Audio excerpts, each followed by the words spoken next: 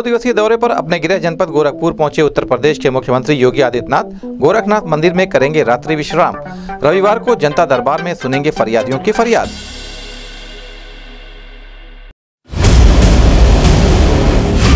पशुओं को भी खूब भाता है मुख्यमंत्री योगी आदित्यनाथ का स्नेहिल सानिध ट्विटर पर छाई सीएम योगी की गोद में सुकून से बैठी बिल्ली की तस्वीर।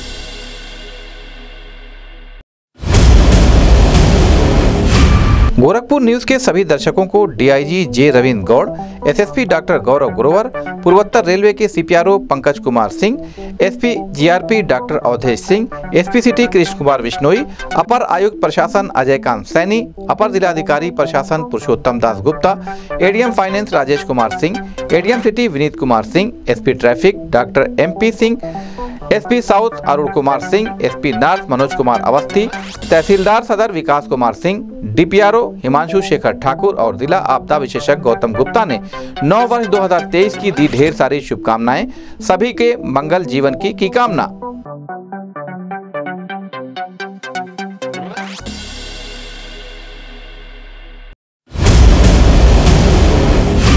ट्रेनों में यात्रियों के हाथ से मोबाइल व सामान चोरी व लूट कर चलती ट्रेन से कूद जाने वाले तीन शातिर चोरों, लुटेरों, ब्रिजेश साहनी उर्फ़ विदेशी, वकील और कुंदन कुमार को जीआरपी थाने की पुलिस ने किया गिरफ़्तार। चोरी के पाँच मोबाइल, ग्यारह हज़ार नगद किया बरामद, SP GRP doctor Awadhesh Singh ने किया खुलासा।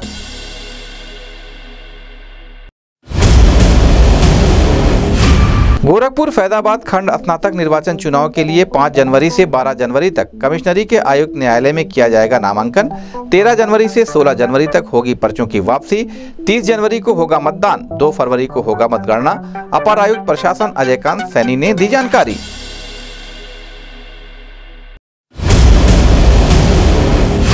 पूर्वोत्तर रेलवे ही नहीं, संपूर्ण भारतीय रेल के लिए चुनौतीपूर्ण एवं उपलब्धियों से भरा रहा वर्ष 2022 पूर्वोत्तर रेलवे के सीपीआरओ पंकज कुमार सिंह ने कहा, पूर्वोत्तर रेलवे के लगभग 90 प्रतिशत रूट का हो चुका है विद्युतीकरण। नए वर्ष में पूर्वोत्तर रेलवे द्वारा चल रही सभी परियोजनाओं को समय से पूरा करने के लिए हम हैं कृत संकल्पित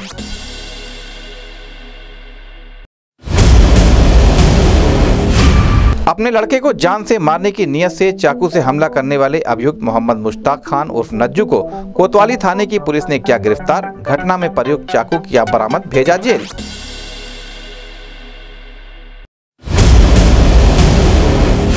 मानव संपदा पोर्टल के माध्यम से ऑनलाइन होंगे पंचायती राज विभाग के सभी कर्मचारी अधिकारियों के कार्य। होगी आसानी। बनी रहेगी पारदर्शिता। डीपीआरओ हिमांशु शेखर ठाकुर ने दी जानकारी।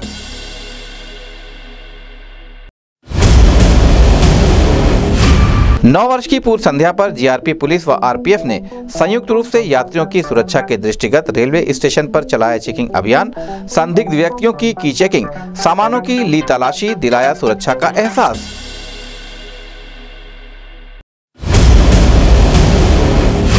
और गोरखनाथ मंदिर में प्रत्येक वर्ष लगने वाले विश्व प्रसिद्ध खिचड़ी मेले की तैयारियाँ चल रही हैं। जोरों पर सज चुकी हैं दुकानें। रेंजर झूला रहेगा आकर्षण का केंद्र। मेला प्रबंधक शिवशंकर उपाध्याय ने कहा, पुलिस के अलावा सभी विभाग रहेंगे मुस्तैद। श्रद्धालुओं को मेले में मिलेगी फ्री वाईफाई की सुविधा।